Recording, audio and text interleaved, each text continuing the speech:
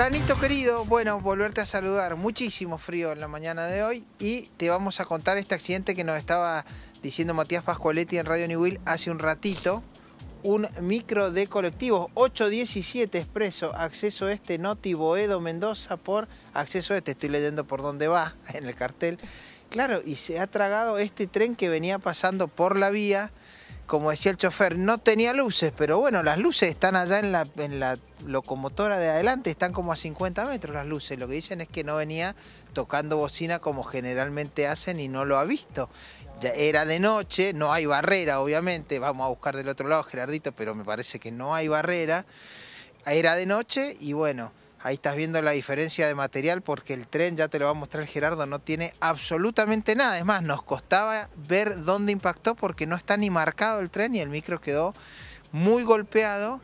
Y ya vamos a ver si hablamos con una señora que se está tomando el brazo en este momento, que es una de las pocas lesionadas, si bien no ha sido tan fuerte el golpe, fíjate cómo lo desarmó al micro de este lado te recordaba que esto fue siete y media. Estamos en Boedo y Correa de Gutiérrez. Y voy a saludar a esta señora que ha salido en muchos medios. Hola, solo saludarte. Vi que recién estabas con Canal 9, te estás tomando el brazo. ¿Tu nombre? Eh, Camargo Joana. ¿Te caíste? ¿O no, te, iba, te pegaste? Iba atrás del chofer yo.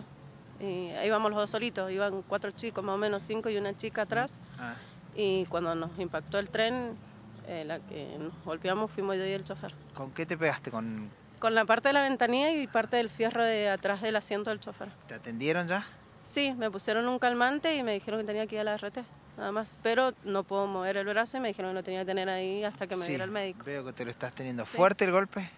Sí, sí, bastante fuerte. Se asustaron, me imagino. Sí, y lo que pasa es que venía sin luz y no tocó bocina, el chofer no lo vio, le pegué el grito porque... ¿Lo viste vos a último momento? Sí, ya habíamos pasado ya el, primer riel de, la, de las vías y, pegó el, freno de golpe y, es cuando recibimos el impacto. ¿No se sentía el ruido del tren? No, y no había luz. No, no, estaba muy oscuro. ¿No hay barrera por acá, en esta zona? No, no, no. Bueno, que no sea nada lo del brazo. Nos vamos a dar la vuelta, Gerardo, para ver si hay barrera, pero creo que no hay barrera. No, no hay barrera. No, no sé, no, sé, no, no hay barrera. Fíjate, mira, esta es la calle, claro, tenés que pasar la vía. No, no lo ha visto. Evidentemente no lo ha visto porque ni ha frenado. Vas a, vas a vamos a cruzar a ver si hay barrera del otro lado. Está la gente de Defensa Civil, está la gente de Maipú. Bueno, tienen que hacer todas las pericias. Ahora este es el punto, ¿Pasás de aquel lado para ver si hay barrera? Hace poco no hubo también otro choque ahí. Sí. Digo, seguro que hace poquito hubo un choque ahí. Este diría casi inadmisible que eh, circule el, tren de carga y no haya señalización. Te digo, Mari. Barrera, cartelería. Mira, yo si mal lo recuerdo, en esta misma esquina, por esta esquina que estás ahora, Julián, hace poquito hubo un auto que chocó contra el tren también. Y te digo que si vas por la ruta, por la vía, te encontrás con muchísimos cruces, lamentablemente, sin ningún tipo de señalización. Pero esto tiene que cambiar, porque no, a ver, por ahí la gente de la zona sabe a la perfección cuál es esta situación y mayor cuidado, pero hay gente que, que no conoce y pasa desprevenido. Sí, tal cual.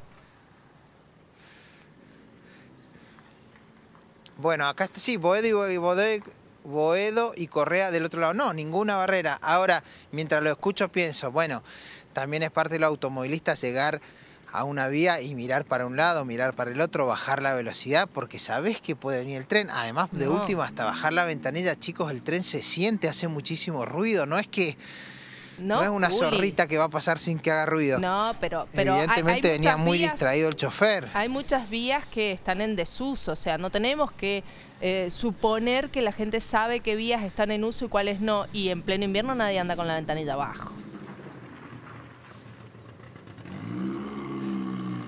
Bueno, está bien. Sí, evidentemente son responsabilidades compartidas. Bueno, yo vivía en el barrio maestro, siempre teníamos un paso a nivel cerca y y eh, el tren se sentía y una más miraba para un lado y para el otro. Me parece que es lo menos que le podés pedir al, al chofer, pero bueno, evidentemente no lo hizo y ha sido una desgracia con suerte, chicos. Sí, menos mal. podría haberlo agarrado a la mitad y sería otro el cantar. Juli, gracias, muy amable. ¿eh? Allí está esta imagen. Y claro, en esa misma esquina hace muy poquito un mostramos un, eh, otro incidente, pero era en el lugar donde está Julián, en esa dirección. ¿no? Así que, bueno, obviamente allí ese cruce está interrumpido y lo que dice Marisol es real. Tienen que mejorar eh, todos los cruces, le digo.